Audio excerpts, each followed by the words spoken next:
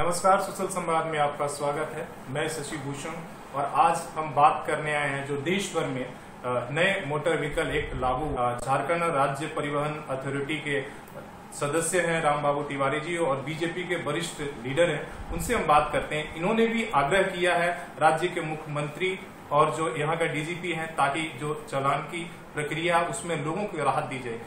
पहले तो आपका बहुत बहुत स्वागत है, सर।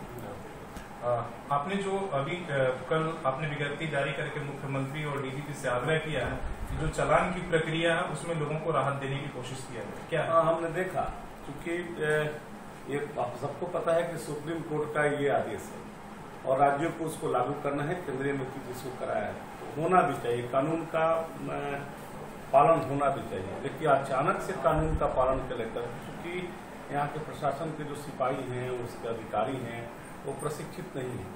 मैंने आग्रह किया मुख्यमंत्री से, इस राज्य के डीजीपी से और अपने परिवहन विभाग के सभी लोगों से। तो ये बातें सामने आई कि भाई साहब, इसको सरलीकरण किया जाए ताकि दो ही चीज़ पर ज़्यादा फोकस किया जाए। एक हेलमेट अगर कोई पहन के बिना पहने जा रहा है तो उस पर सख्त कार्रवाई की जाए तो क्यों प्रशासन की चुनौती की बात हो जाती है। दूसरा ट्रिपल राइडिंग जो लड़के बैठते हैं, उसको रोका जाए उससे क्राइम कंट्रोल होगा।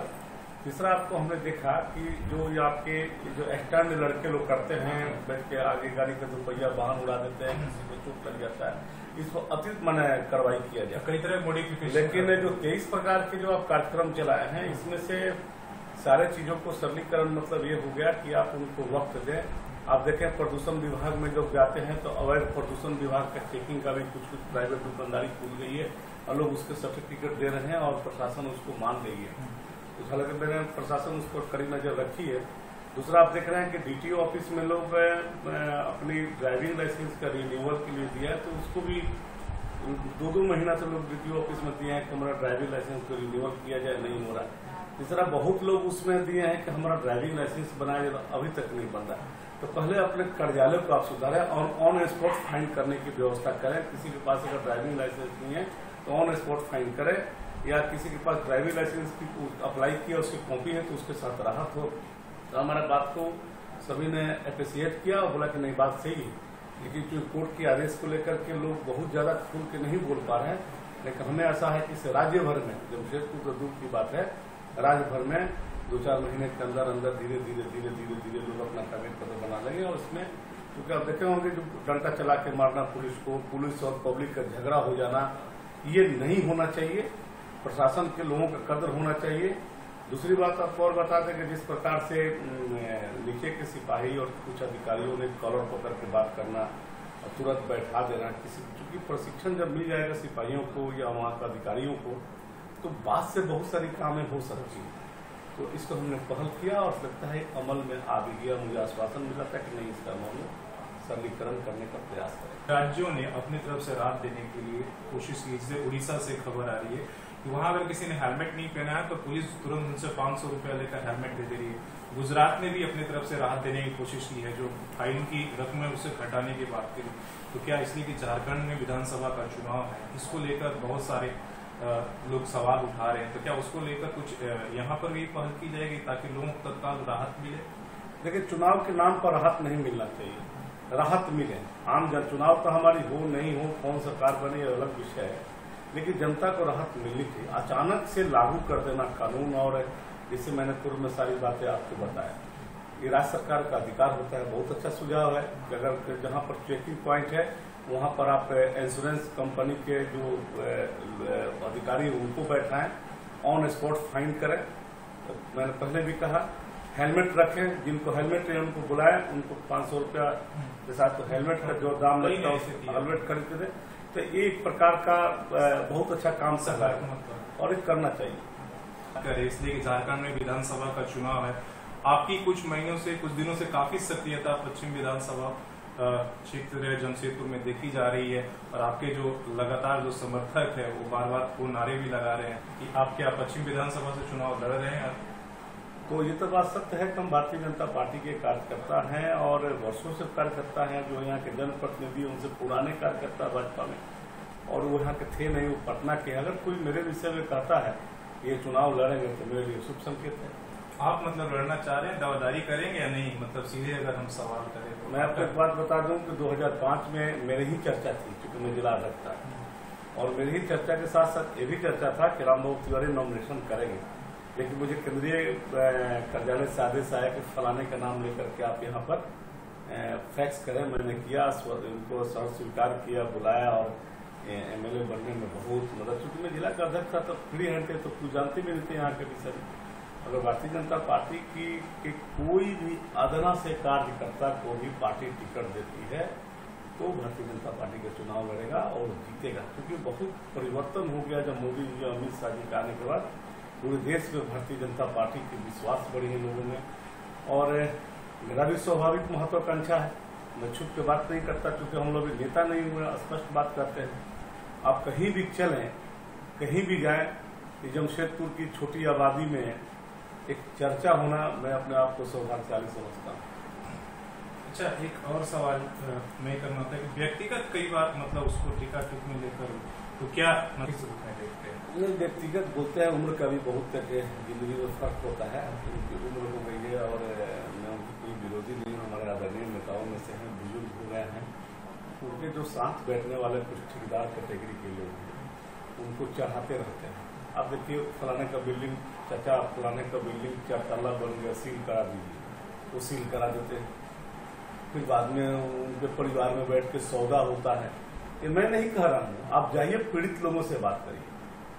ठेकेदारी फलाने व्यक्ति को मिलना चाहिए एमएनएसी में।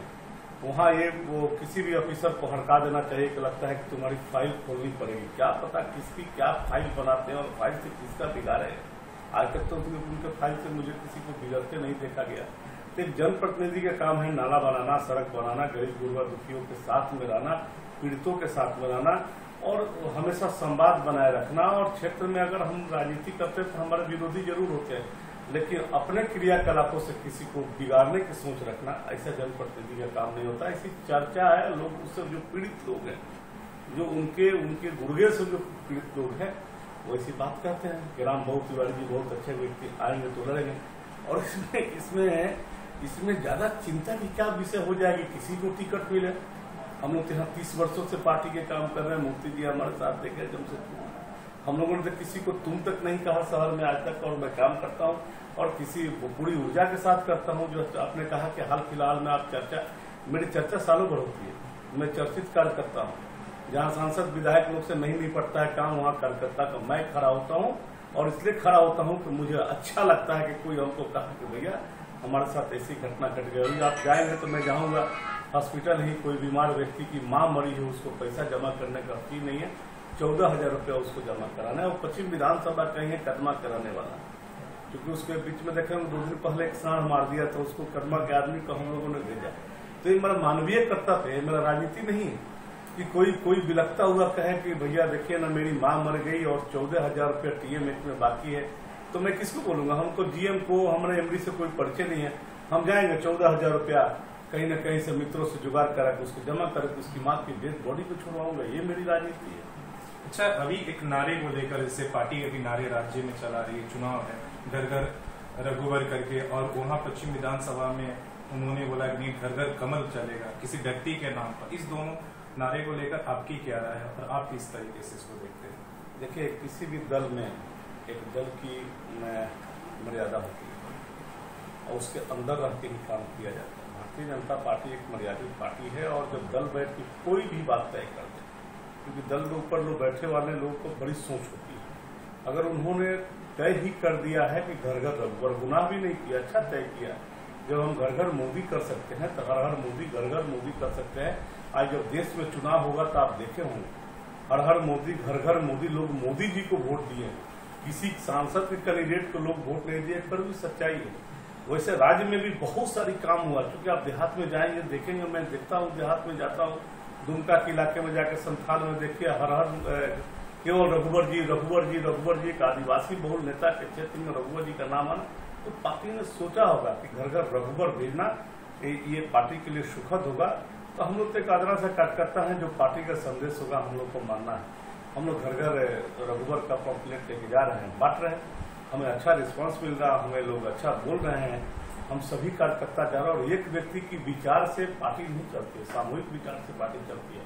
और आकर एक विधानसभा में, केवल पश्चिम विधानसभा में नहीं घर घर अरे सुझाव जहाँ देना होता है, वहाँ सुझाव देना चाहिए। आप अड़तालीस ठोक कैबिनेट की बैठक में नहीं गए और बाहर में सरकार के विरुद्ध में पूछते हैं, गलती आपकी है। आप अभी तक लगभग सात आठ आठ से लेकर तेरह तक के प्रदेश कार्य समिति की बैठक हुई। आप एक भी कार्य समिति की बैठक में नहीं गए।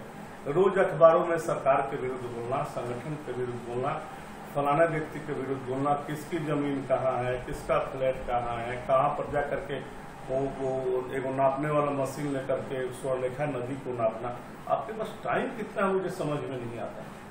यहाँ तो लोग काम करने वाले के पास टाइम नहीं रहता। आपके पास नुआ मुंडी का भी चिंता है, आपको फ्लैट का भी चिंता है, आपको चंदन मित्तल का फ्लैट के पानी के प्रदूषण से आपने उसको दो सौ सत्ताईस से मकान को सील कराया, सीलिंग कराया। ऑफिसर कहते हैं कि मैं क्या करूँ, ज़बरदस्ती मुझे कराया जा रहा है।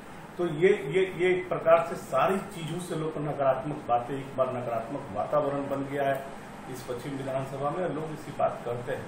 न हम लोग पार्टी के साथ है और घर घर रघुवर जो पार्टी ने तय किया है, सभी कार्यकर्ता घर घर रघुवर जाकर के कार्यक्रम को चलाएँगे। दल से बड़ा व्यक्ति अगर कोई बनता है आने वाले दो चार महीना में सारा चीज़ स्पष्ट हो जाएगी। धन्यवाद, आपने बड़ी बेबाकी से राय रखी। जैसा कि इन्होंने अपनी बेबाकी से राय रखी, पार्टी के अंदर की बात भी इन्होंने, प्रशासन पे भी तमाम इन्होंने जो कमियाँ हैं उस पर उन्होंने सवाल उठाया और सार्थक पहल करने की बात कही। और जहाँ तक चुनाव लड़ने को लेकर है विधानसभा, पश्चिम विधानसभा चुनाव, उन्होंने अपनी, वहाँ भी उन्होंने बेबाकी से अपनी उन्होंने राय रखी और कहा कि हाँ मैं ज़रूर लड़ना चाहता हूँ, इसलिए कि पार्टी का मैं पुराना कार्यकर्ता हूँ और मुझे भी महत्वाकांक्षा है लड़ने के लिए। शशि भूषण धन्यवाद।